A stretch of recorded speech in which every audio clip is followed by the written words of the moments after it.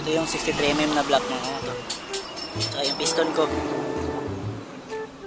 Kapalitan namin ng 7.0 na cam. Cam shop. Ito yung dati niya cam shop mga kamoto 6.5. Yung isa ano, kinuha pa yung bearing. Ay ito pala yung 7.0 mga kamoto. Kinuha pa yung bearing nung 6.5. Tapos mapapalit din kami ng belt. Ito pala yung head ko mga kamoto big valve TSMP yung brand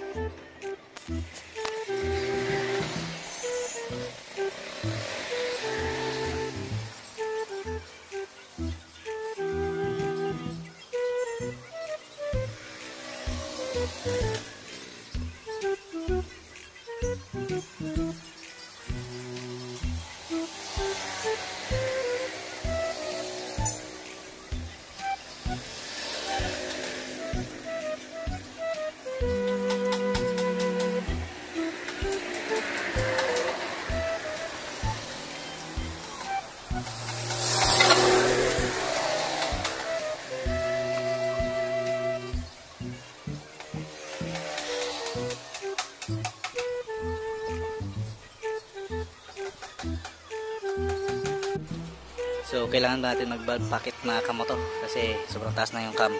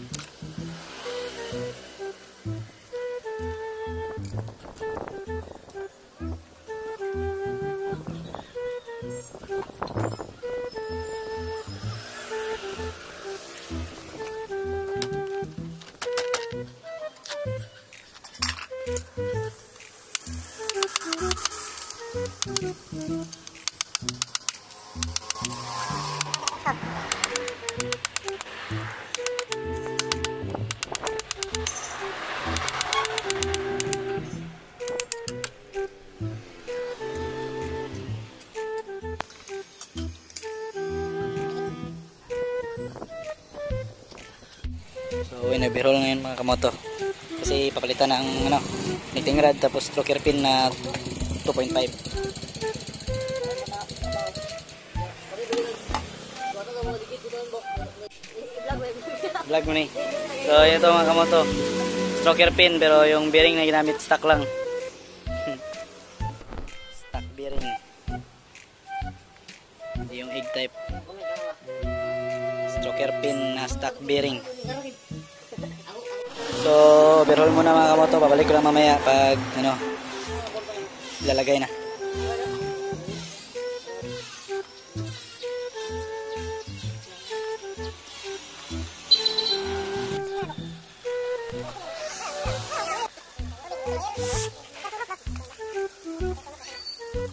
Multiply